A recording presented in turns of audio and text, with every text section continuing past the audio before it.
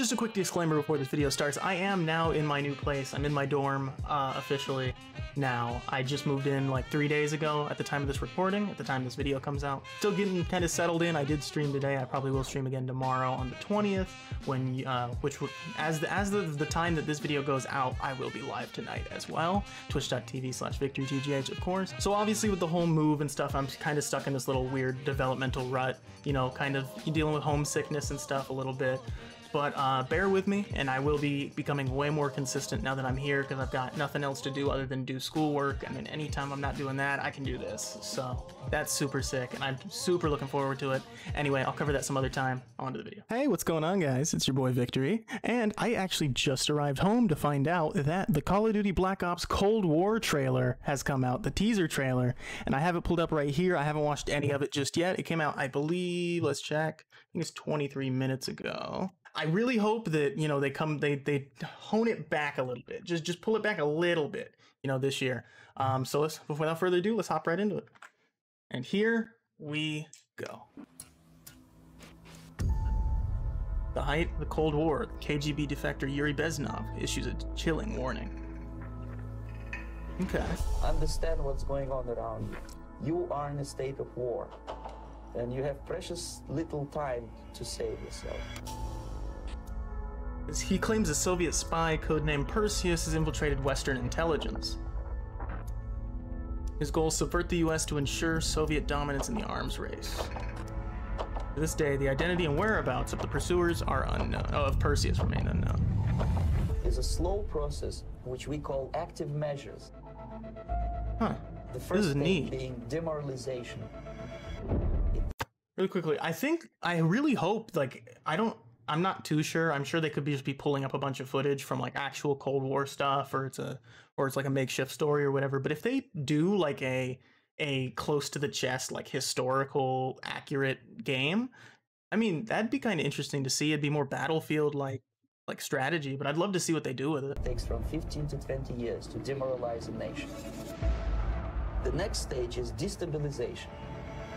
What matters is essentials: economy, foreign relations, This is interesting. defense systems. The next stage is crisis. With a violent change of power, structure, and economy. This is real footage, right? Like this is real footage of what occurred during the Cold This is War. what will happen in the United States if you allow all these schmucks to put a big brother government in Washington, D.C., who will promise lots of things. Never mind whether the promises are Interesting. They better have a release date at the end of this video. Like there better be a confirmed release date. Obviously, like we're speculating, like like November, December is obvious, or maybe even October. But I don't know. I haven't seen any information on like a release date, and I'm super excited. I don't, I, I don't know if I'll pre-order it, but I'll definitely have it like day one if uh, when it comes out. Inspired by actual events. Okay, so it does have some historical accuracy. A plan decades in the making. Know your history. Or be doomed to repeat it. Huh. Come on, come on. It's ticking. With Come on. second, the disaster is coming closer and closer. The danger is real. Sorry, I had to. fix it. Worldwide reveal August 26th. Okay, so that's that's not too long from now. We're gonna find out the release date and everything. Whoop! Look at that ad. Wow. Okay, so that's a lot, of, a little bit to take in. Um, obviously, I'll come back on the 26th for the uh, worldwide reveal. There is so much that they can do with that, and I really hope that they actually do pull it off this year. Because I'm not gonna lie, these last few years have been slacking a bit. Obviously, Warzone's been super sick and all that, but I mean, I'm kind of not feeling multiplayer, and I haven't since like BO3, and that was even you know not as much as BO2 and stuff like that.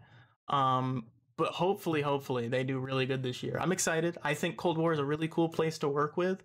Uh, there's a lot of stuff that hasn't been touched on before that they could probably use, and hopefully they have a good zombies uh, this year as well, because that's like my big thing. So, without further ado, I all I can really do is wish them the best and hope for the future.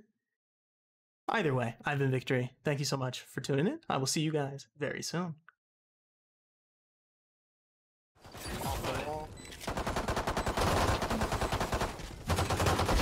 Phoenix down. Poison We're gonna get more. more.